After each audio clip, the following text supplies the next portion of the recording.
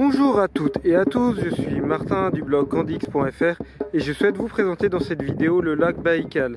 Situé dans l'est de la Sibérie en Russie, le lac Baïkal est le plus volumineux lac du monde.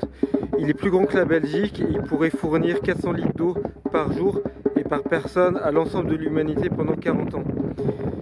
ce lac est d'une exceptionnelle pureté. À vrai dire, on peut boire l'eau du lac sans la filtrer, l'eau du lac est naturellement potable. Voilà, donc laissez-moi vous présenter ce lac unique en son genre.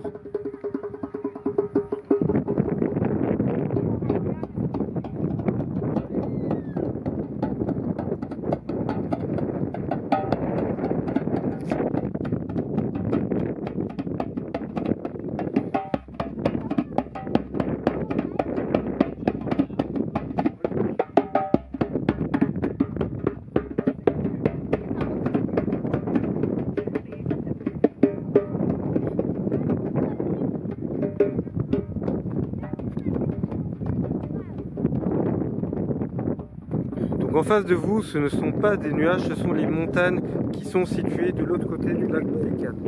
Pour votre info, je suis actuellement sur l'île d'Olkon, une île au milieu du lac Baïkal, et euh, une plus d'une dizaine de kilomètres nous sépare du rivage du lac Baïkal, de l'autre côté. Pour l'info, le lac Baïkal mesure un peu plus de 600 km de long et jusqu'à 80 km de large.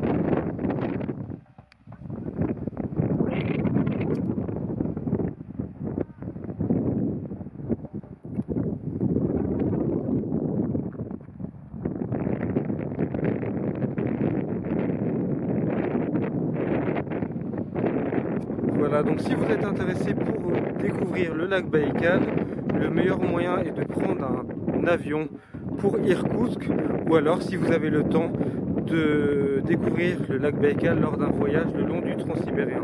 C'est le choix que j'ai fait. Euh, je suis parti de Saint-Pétersbourg et euh, euh, une vingtaine de jours plus tard, je suis arrivé au niveau du lac Baïkal, 6000 km de train plus tard. Et euh, pour rejoindre l'île d'Olkon, il faut euh, prendre un minibus d'Irkoutsk.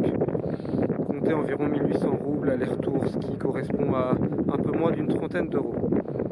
Voilà, donc euh, les deux meilleures saisons pour découvrir le lac Baïkal sont l'été, pour les températures clémentes, il fait environ 15-20 degrés dehors, donc c'est plutôt agréable. L'hiver, les températures là sont vraiment froides, elles descendent à moins 20, parfois moins 30 degrés, mais ça permet de voir le lac Baïkal complètement gelé. Il fait tellement froid, il y a tellement de glace sur le lac Baïkal que l'hiver, une route est ouverte et euh, permet aux voitures, voire même aux camions qui pèsent jusqu'à 10 tonnes, de traverser euh, le lac Baïkal. Vidéo est désormais terminée, j'espère qu'elle vous a plu et à bientôt pour de prochaines vidéos.